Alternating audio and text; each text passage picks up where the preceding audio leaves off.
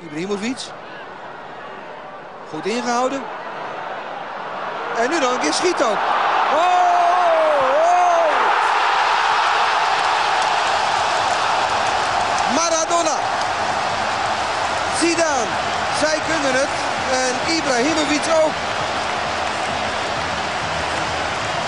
Een goal die op de Nederlandse velden wel eens werd gescoord. En die niet door iedereen even hartstochtelijk wordt bejubeld.